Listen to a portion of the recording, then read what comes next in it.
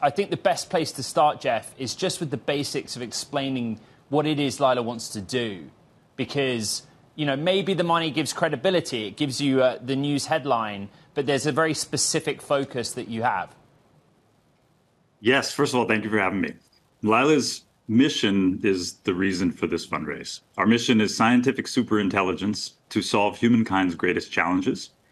That is, of course, a lofty mission, but what it means is that we're trying to build a kind of beautiful mind that can be a polymath across fields of science, materials, chemistry, and life, and become super intelligent within them by running the scientific method itself.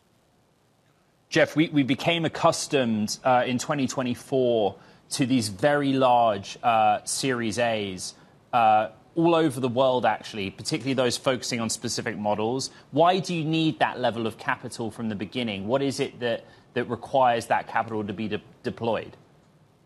Yeah, first of all, I, I realize that by saying scientific method, I've either given euphoria or PTSD to audience members that may have enjoyed or not their uh, most recent science class.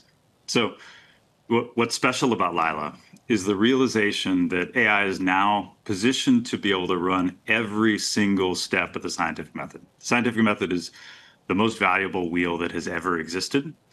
And the reason for scale capital is running the scientific method at scale is going to lead to scaling laws for scientific intelligence that will go beyond what's possible with scaling laws of the internet and previous human knowledge alone. Mm. Geoff, it's interesting where you stand. We've just seen the interesting investors coming on board and the pension money, the big pockets wanting to put money to work. But ultimately, look, call me a cynic, we've had an awful lot of scientific AI companies coming in offering a new world of medical advancement. Why are you different? It seems to be something about the lab. So the the mainstay of scientific AI companies are sitting in a, a small niche of science focused on a specific application.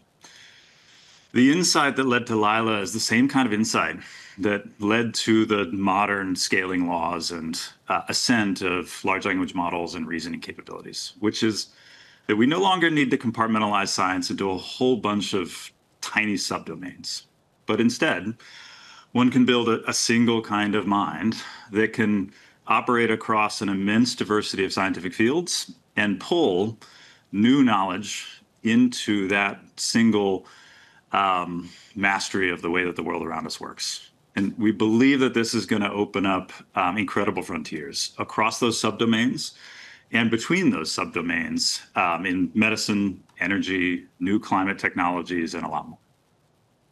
Geoff, we, we, we started this conversation by saying that, that Lila focuses on running thousands of experiments at once using a single AI model. Is this you taking advantage of quantum computing to do that? Or accelerated computing or both? Primarily the latter for now, but if you will, the, a, a beautiful mind for science need, needs a new kind of body. And those who are training only on data sets of the past are, are going to hit a ceiling of scientific intelligence. And that wheel of the scientific method, of course, has been in human minds and hands for all of our existence. And we believe the paradigm of what you're seeing behind me allows science to ascend into a higher intelligence, higher scale, and higher speed.